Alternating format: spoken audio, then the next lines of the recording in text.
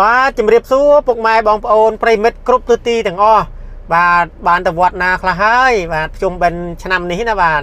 អឺសម្រាប់វីដេអូមួយនេះផងដែរខ្ញុំបាទសូមបង្ហាញអ្នកទាំងអស់គ្នាអំពីរបៀបធ្វើឬក៏អំពីរបៀបវិចនំអន្សមជ្រូកនំអន្សមចេកបាទរបស់អ្នកបាត់ដំបង បាទថ្ងៃនេះអ្នកវិចគឺអ្នកម្ដាយមីងរបស់ខ្ញុំអឺបងប្អូនរបស់ខ្ញុំកំពុងតែវិចនំមកមើលថា អ្នកបាត់ដំបងហ្នឹងគេវិចនំនំអន្សមហ្នឹងវិចយ៉ាងណាតើដូចគ្នានឹងអឺខាងស្រុក ខាងខេត្តបងប្អូនដែរទេ បាទបើអញ្ចឹងទេអ្នកទាំងអស់គ្នាទទួលទស្សនាវីដេអូនេះដូចតទៅបាទសូមអញ្ជើញចានេះរបៀបវិចនំអន្សមជ្រូកបែបខ្មែរយើងហើយដំបងឡើយរៀបស្លឹកចេកឲ្យស្អាតហើយក៏វាចអង្ករមក ហើយអឺអង្ករហ្នឹងមុននឹងយើងយកមកវិចយើងធ្វើមិនដែរម៉ែអូកនេះដំបងមកអឺយើងលាងវាឲ្យស្អាតសិនទៅយើងត្រាំវាសិនណាកូនហើយត្រាំវាអឺលាងលាងវាឲ្យច្រាមទឹកតិចទៅដើម្បីយើងអឺធ្វើទៅយើងទុកបានយូរហើយព្រោះវាអឺស្អាតចាម៉ែស្អាតហើយវាយើងទុកវាក្រអត់វាអត់ងាយផ្អូមអត់ងាយអីអញ្ចឹងណាកូនចាបិទកហ្នឹងយើងលាងហើយគឺយើងសម្រោះវាសិនទៅគឺយើងពូតខ្ទិះដូងព្រោះអ្នកខេត្តបាត់ដំបងយើងនេះគេនិយមធ្វើអឺកងកណាចាកគេពូតខ្ទិះគេអត់ធ្វើដាក់បង្កាទេគេពូតយកខ្ទិះហ្នឹងកងកហ្នឹងឯងចាហ្នឹងហើយហើយកងកហើយកយកមកវិចហ្នឹង ពីសំជ្រូកហ្នឹងដាក់សណ្ដែកចាហើយគឺយើងកូរអង្គទៅយើងដាក់អំបិលទៅយើងចង់ញ៉ាំដាក់ស្ករយើងដាក់ស្ករបន្តិចបន្តិចលាយអញ្ចឹងណាកូនឲ្យវាឡែមឡែមបន្តិចតិចទៅដើម្បីឲ្យមានរសជាតិឆ្ងាញ់ចាហើយសណ្ដែកបាយនេះគេធ្វើមិនដែរម៉ែអូសណ្ដែកបាយហ្នឹងលាងទឹកដែរទិញយើងយកមកទៅយើងលាងទឹកសម្អាតដូចគ្នាអញ្ចឹងឯងសម្អាតដូចអង្គអញ្ចឹងណាស្អាតអញ្ចឹងទៅនេះយកមកវិចអញ្ចឹងណាកូន ហ្នឹងហើយវិចចឹងហើយហើយសាច់ជ្រូកទៀតយើងប្រឡាក់នេះសាច់ជ្រូកនេះចាយើងប្រឡាក់ជាម្រេចខ្ទឹមប៊ីចេងតិចតិចអញ្ចឹងទៅអំបិលយើងស្រឡាញ់រសជាតិចូលចិត្តរសជាតិបែបណាប្រឡាក់ប៉ុណ្្នឹងទៅចាចង់សាបចង់ប្រៃអីទៅតាមយើងចំណូលរសជាតិហ្នឹងណាចាក៏ម៉ែ ធ្វើរសជាតិល្មមមិនប្រៃពេកក៏វាមិនសាបពេកហើយក៏យកមកវិចអញ្ចឹងណាកូននេះវិចចឹងឯងប៉ុណ្ប៉ុណ្្នឹងឯងសំជ្រូកខ្មែរយើងនេះហើយយើងវិចហើយយើងចងរឹតកដាលចេះកុំឲ្យវារើណាចា ចងរឹតចឹងហើយយើងអឺយកកបចេកយ៉ាងនេះយើងអឺបុកក្បាលវាឲ្យវាណែនណែនក្បាលវាចេះដើម្បីឲ្យនំហ្នឹងណែននេះណែនស្អាតហើយដល់ពេលយើងស្ងោរទៅវាអត់ចូលទឹកចូលអីណាចាបើយើងធ្វើអត់អឺយកធាងចេកហ្នឹងដាក់ បុកក្បាលវាទេវាអត់ណែនក្បាលវាទេទេហើយស្ងោរទៅខ្លាចវាចូលទឹកអញ្ចឹងនំនេះយើងវិចនំជ្រូកគូកពីរអញ្ចឹងណាកូនណាចាគូកពីរនំជ្រូកចាកាត់ដំបងសមយើងហ្នឹងជ្រូកអឺវិចចឹងគូកពីរអញ្ចឹងចានឹងចាសមជ្រូកចាហ្នឹងហើយបើមិនសមចេកគូកតែមួយទេអាហើយនេះរបៀបវិចអឺសំសំចេកអីម៉ែហ្នឹងហើយមិនសមចេចេក កចាចេកកូនអើយចេកឆ្នាំនេះវាអត់មានចេកធំធំទេសណ្ដាច់ពូជហើយចេកនោះនេះចេកទូទូចេកទៅ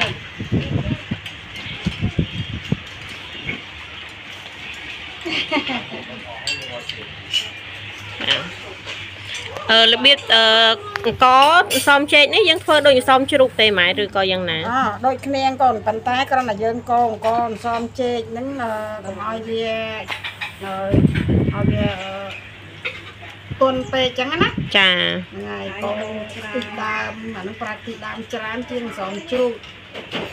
ចាហើយរៀងផ្អែមជាងសំជ្រូកបន្តិចហ្នឹងអឺម៉ែវិចនេះណាចាប៉ុន្តែបើអ្នកផ្សេងអ្នកគេវិចក៏ម៉ែដឹងដែរប៉ុន្តែម៉ែចូលចិត្តចឹងវិចក៏អត់មានឲ្យទុនទៅទេអង្គអង្គរៀងស្រួយទៅទៅបានប្រាស់ទីដើមច្រើនចាតាមគេនំចាតាមគេសំជ្រូក ដឹងហើយអឺវិច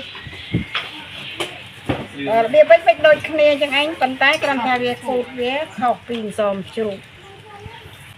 ទៅគេទៅមួយចានេះមិនចឹងចងកដាដូចគ្នាចឹងគេទៅទៅទៅដល់កណ្ដាលគុំចង់គេពុកកាត់ពុកមួយចឹងមកទៅវិញទេចា ម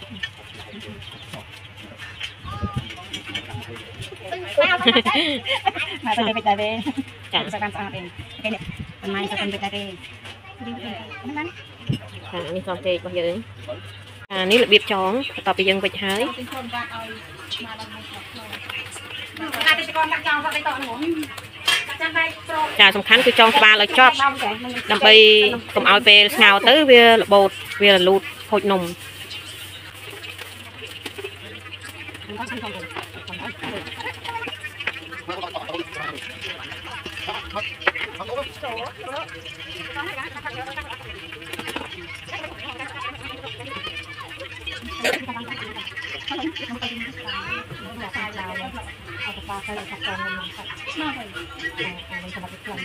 ចានេះតមដែលវិចរួច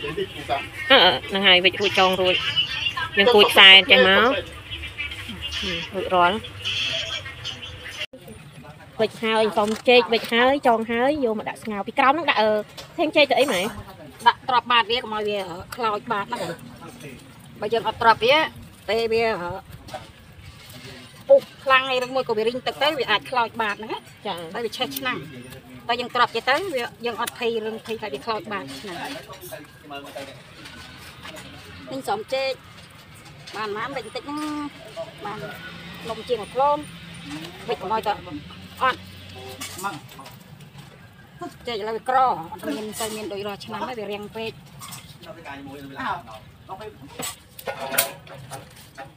វាក៏ទៅតិច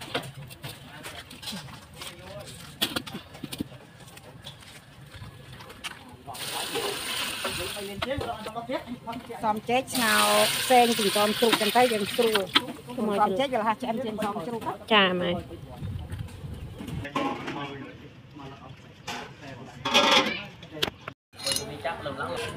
ចានេះស្ងោរបានប្រហែល5នាទី5នាទីទើបដាក់ស្ងោរទឹកពងពុះប្រហែលជា3ម៉ោងទៀត3ម៉ោង3ម៉ោងជាងទៀតបាននំយើងឆ្អិន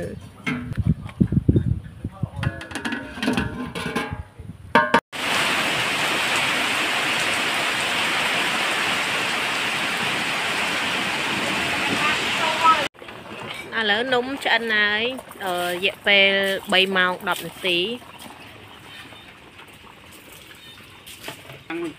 ដាក់ទឹកពេញទៀត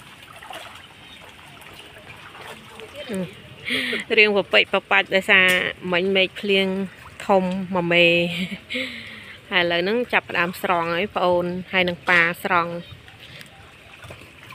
អឺពេលស្រង់យើងដាក់លាងជាមួយ ទឹកត្រជាក់ដើម្បីកុំឲ្យស្លឹកចេកដែលវិចហើយនឹងខ្មៅហើយនឹងឲ្យអស់ជាតិខ្លាញ់ដែលយើងស្ងោរចេញជាតិខ្លាញ់ចេញពីនំមក វាទេវាប្រឡាក់ប្រឡាំងប្រអាងមកយើងលាងបអស់ទៅវាស្អាតនំ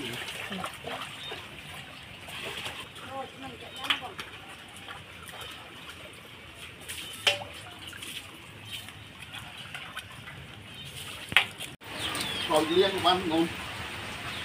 លាងលាងលាងនឹងបាទឲ្យច្រើនតែប៉ុណ្្នឹងបានមកណែនេះ ជ្រុកទៅមិននេះ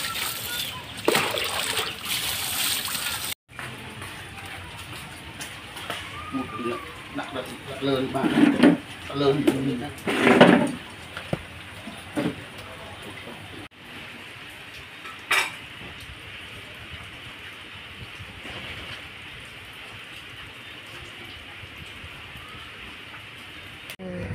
បន្ទាប់ពីយើងលាងហើយមិញហ្នឹងយើងយកមកសម្ដិលលើរនៀបស្អាតដើម្បីឲ្យអឺវាត្រជាក់ដើម្បីឲ្យនំអន្សមត្រជាក់បន្ទាប់ពីត្រជាក់ហើយបានយើងចាប់ផ្ដើមយកនំទាំងអស់ហ្នឹងទៅកាត់ចំណងចេញ